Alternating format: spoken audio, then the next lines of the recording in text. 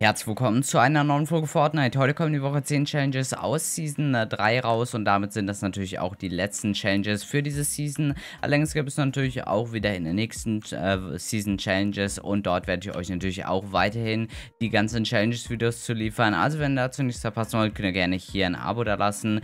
Wird ja wahrscheinlich auch nicht lange dauern, bis dann die nächste Season beginnt. Wahrscheinlich jetzt in einer Woche werden dann ja auch schon direkt die nächsten Challenges rauskommen, direkt mit dem nächsten Season-Start. Versuche auf jeden Fall Video zu machen, könnte allerdings gerade bei der nächsten Woche schwierig werden. Allerdings spätestens ab Woche 2 sollte es wieder wöchentlich ähm, Challenge-Videos geben und ich werde euch, äh, wie gesagt, heute in diesem Video die ganzen Challenge-Lösungen zu, zu den Woche 10 Challenges zeigen. Wenn natürlich, äh, wenn euch dieses Video natürlich gefällt, könnt ihr auch gerne hier eine Bewertung da lassen und ich bin ähm, wahrscheinlich gleich auch live auf Twitch. Dort könnt ihr auch gerne vorbeischauen. Link dazu ist natürlich wie immer in der Videobeschreibung und ich würde sagen, wir beginnen direkt mal mit der ersten Challenge und zwar muss man als erstes drei Kills in Misty Meadows machen. Das befindet sich hier ganz im Süden der Karte, ähm, dort unter Lazy Lake. Dann, wenn man damit fertig ist, kann man weiter nach Weeping Woods gehen und muss dort ähm, diese Glühwürmchen sammeln.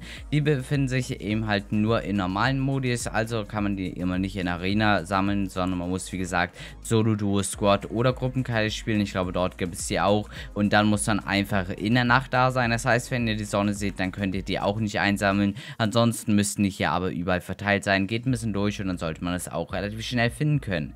Wenn ihr dann damit fertig seid, geht es wieder Richtung, äh, äh, Richtung ein bisschen Meadows zurück. Und zwar müssen wir dann dort zu dieser Abrisski-Bar und dort müssen wir eben halt 10 Sekunden lang tanzen. Äh, sollte auch keine allzu schwierige Challenge sein. Könnte sein, dass am Anfang etwas überfüllt ist, sonst wartet einfach ein bisschen in der Runde und geht dann erst später hier drauf.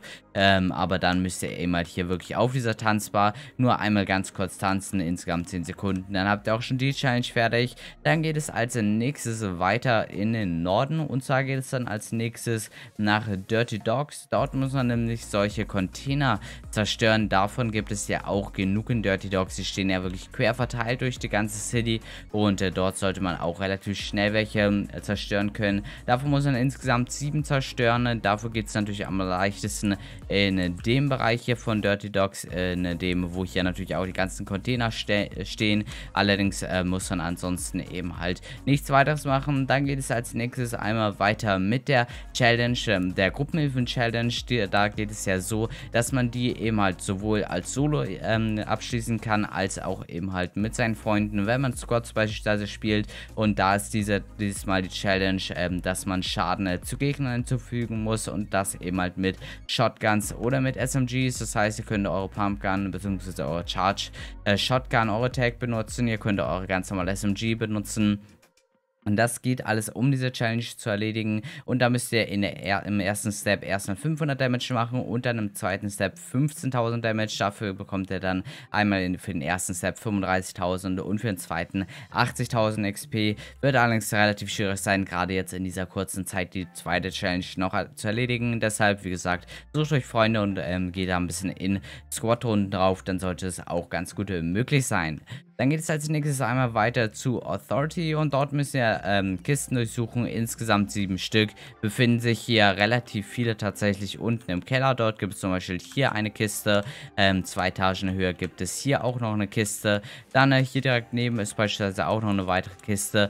Wichtig ist eben halt nur, dass dazu eben halt nicht diese Henchman-Kisten zählen, sondern ihr braucht eben halt tatsächlich wirklich die ganz normalen Kisten, die es auch sonst in jeder Stadt gibt. Darauf muss man eben halt achten. Und dann braucht man insgesamt davon eben halt auch wieder sieben Kisten. Und als allerletzte Challenge muss man dann noch einmal nach Frenzy Farm gehen und dann muss man dort Munitionskisten durchsuchen. Insgesamt sieben Stück, sollte auch nicht so schwierig sein. Gibt es ja auch viel verteilt, gerade im Hauptgebäude müssten glaube ich schon insgesamt sieben sein.